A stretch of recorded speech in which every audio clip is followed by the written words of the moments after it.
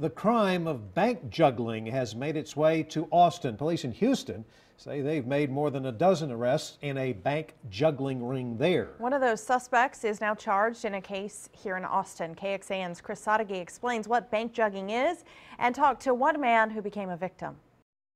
Next to car seat, there is a some small box, the safety box. After withdrawing $1,800 from the bank, Lalil Geary put it in his car console.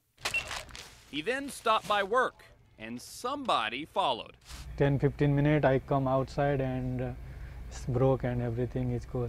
Within minutes, his car was broken into, his money gone. But because of this camera, police think this could be related to a Houston crime ring that may have found its way to Austin. It's kind of a new trend.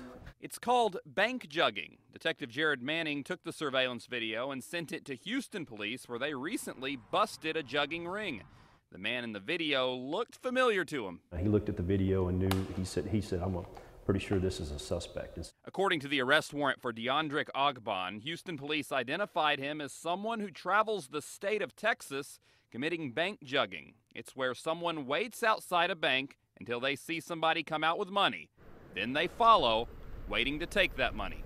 I did not recognize that somebody is following me, so In Lalil's case, he would have been followed nearly 25 miles from the bank to work.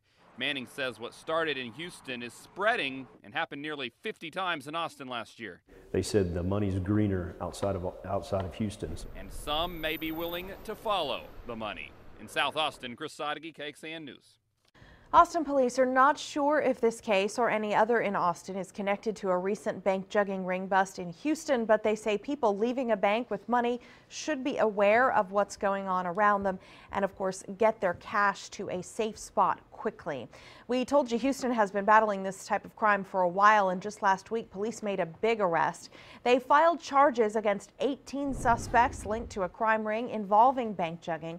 Police say they believe these men and women were operating from the Homestead and Tidwell area in northeast Houston. Police say they may be charged with more crimes in the coming weeks. Houston police teamed up with several agencies to make these arrests. The investigation took several months to complete.